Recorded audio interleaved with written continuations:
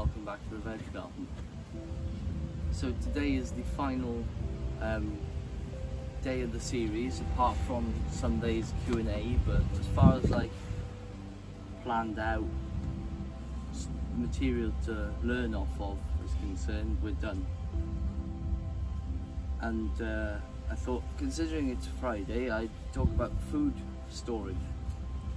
Now, uh, food storage it's quite a big one. If you're going to be uh, try to be self-sufficient and grow your own produce because there's no point trying to grow produce if it doesn't last long. But equally you don't want it to perish. You know you want it to taste good not deteriorate in flavour so there's many different ways you can store uh, produce through the winter or even just short term like if you produce something now and you want to eat it in two days time you know? You can store it. So I've got one two three five again. Different methods of storing. Well six tell a lie. We'll start with the six because I've just thought of it now which is on counters. So if you put a cucumber in a fridge the cucumber thinks it's going into a frost. So all the sap out of the cucumber run back towards the tip and out. So you lose a lot of flavour the water and that's how your cucumbers go wrinkly in the fridge. If you keep them on the countertop, they don't go so wrinkly so fast. Same as tomatoes. Tomatoes keep their flavour better out on the countertop and they last longer than in the fridge. But as far as overwintering stuff is concerned, you've got many different solutions. So the first one is below ground. Now I don't have below ground storage systems in place yet. Um, I'm hoping to bury a 45 gallon drum this year at some point to put some potatoes in. Uh, or even a 35 gallon, whatever I can get my hands on really. And I'll just dig a big hole and I might put a container on top of it to make it look a bit nicer. Um, and then that'll be a bit of a root cellar. So underground you've got the ambient temperature, it's colder down there in the winter so it keeps your veg nice and cool. You don't want them getting too hot, but you, you know it's balanced in the winter. Um, if it freezes below ground in a, in a box wouldn't freeze that hard if you had straw over the top of it in winter or hay or any mulch.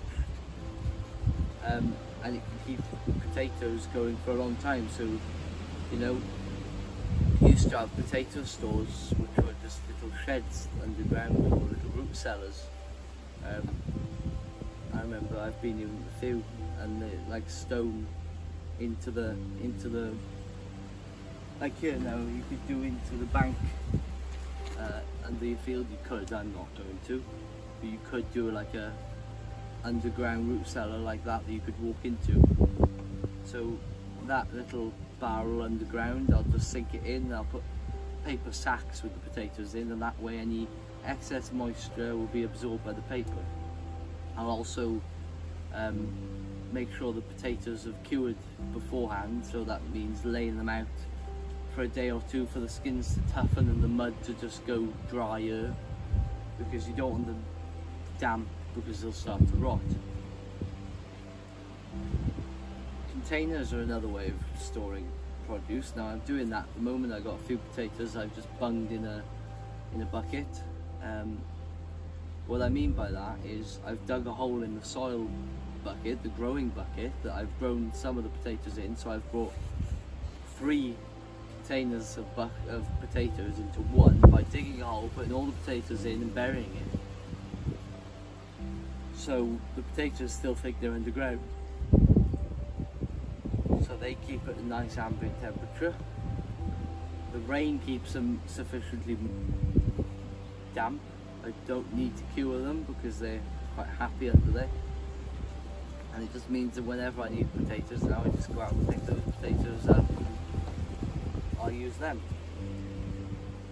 Um, in the shed, that's another good one. I use um, some bins in the shed plastic bins and I put paper, newspaper at the bottom and newspaper over the top of the food and that just acts as a, like a moisture, sucks up all the excess moisture and I cure any veg that's going in there, tip it in, and then just leave it. And over winter, I had all my veg in them, and I only lost one potato to rot. And that's it.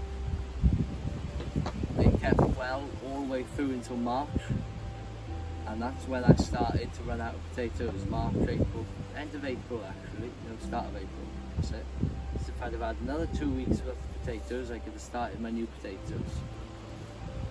Um, but they weren't quite ready. Hello, little wasp. Um, freezer and fridge, they're another good way of freezing and storing things short term. Um, freezer, I done spag sauce last winter and we only ate the last one last week. That's a long time of having spag bol sauce once a week, say, and it, it ensures that we have a taste of summer and depths of winter, but it also prolongs that season. Like I've, I've probably had my homegrown tomatoes now every week of every year. These last two years then, but you know, get the idea. I've been able to eat homegrown tomatoes at least once a week. Now I'm getting into that stage. I'm gearing up to be eating them every day and getting fed up with them by the end. But I'm really looking forward to them at the moment. So you know, you you come into those things of seasonality. Of yes, the tomato itself isn't growing, but I've still got the fruit in, freezer that I could do stuff with, or I can pre-make it into sauces and freeze it, and then it's a really quick meal because you can just defrost the block of you know we put them in container like containers tip that out and defrost it and then get a bit of pasta, a bit of mince, and you've got a meal sorted. 20 30 minutes, and you've got quite, quite a fast meal that's really tasty. Fridge, then you can store things short term. I wouldn't put much uh, fruit in there because, as I say, it sucks the goodness moist uh, leaks out. But if you're picking lettuce in the morning for, you know, your dinner or your supper, which is dinner at night, I don't know what they call it. Here in Wales we call it supper anyway. Supper, dinner, or even if it was just, you know, sandwiches the day, the following day, you could put it in the free, fridge and just keep it cool. Um, you know, you've got that sort of aspect of the fridge, you know. Um, berries, I suppose, just bung them in, pull them out, eat them as you want. The next one is well this is an additional one just seeing the onions over there is curing and hanging up to dry so can do this with a few different stuff. Onions shallots garlic um, you know even down to the nitty gritty if you could try lavender.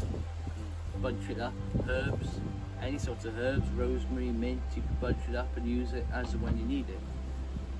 And that's just from simply just laying it out to dry flat tying it into a little bundle and tying it up and that'll be sufficient. Um, you know you can then go the extra step and let it dry for a few days and then you could smash it up in one of those little pestle and mortars or put it through a food processor and do it into a powder uh, herb powder like a seasoning which is what we do. We powder all ours and put it in jars just for convenience because if you're hanging herbs up in the house, chances are they're going to get cobwebs on or you get knocked off the hook or, you know, a whole host of different reasons why it's better for us then to put in jars, but maybe for you it'd be easier to just grab off the hook a whole dried sprig and just crunch it into your food as and when you need it. And, you know, that'd be better than not having mint at all, I think, is having dried um, powders ready to go. Now, the old technique of storing root vegetables, this is mainly, is a root clamp. Now, that's just where you dig a, you put your veg out and you put earth over it and you put more and, and then you put straw hay down it. But I have also seen root clamps where you dig a slight trench, you put straw hay, your veg, but they're only touching each other in the layer and you put more hay or straw, and then that layer. So the layers aren't touching, but the veg between layers can. Doesn't matter too much. And then straw, and more, and then you put all the earth that you've had out of that little trench up over the top. And that then acts as like you could pack it down, you just hit it with a shovel and make it firm, and then all the water runs off but a bit. So it keeps it nice and cool and just sufficiently moist just to keep the veg from going dry and you know starting to lose moisture because of osmosis if it's a dry environment the moisture is going to get wicked out of the veg. But if it's a wet environment then you're going to have the opposite effect where your veg is going to start to rot because it's sitting in wet you know damp wet conditions. So you just want to it's going to control it a bit better if you've got a root clamp because it breathes. Unlike if I bury the plastic barrel in the soil then you it's, it's all the moisture's locked in there so it's going to end up pooling on the floor if anything rots and then the bottom's going to rot out. Not the barrel but all the veg on the bottom. So that's the end of this video and that's the end of this week's the series. Um, tomorrow now I'll get the questions all done that I have over the course of the week and tomorrow well Sunday then um, all these videos are going to go into a Q&A uh, all these questions sorry all the will go into a Q&A and I'll get the Q&A sorted and uploaded on Sunday. So uh, thanks for watching and I hope again to see you next time. Bye for now